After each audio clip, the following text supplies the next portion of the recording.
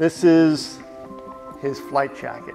Back in World War II, before they came out with the B-29, which had a pressurized cabin, it was an open-air bomber, bomber, the B-24. And so these guys would go up, and to get up higher than the Japanese Zeros could go, they had to climb up to where it was almost to the point where they needed oxygen, but it was just ice cold. My dad was telling me that one of the missions he, he got was uh, the colonel of the base came and said, I want you to take these crates, put them in the middle of your bomb bay, go up to uh, 20,000 feet, fly around for 30 minutes and come back. So he did that, and what, what it was, was it was beer for the officers' mess. So they took it up there to chill it, uh, I guess, uh, Army Air, Air Corps style.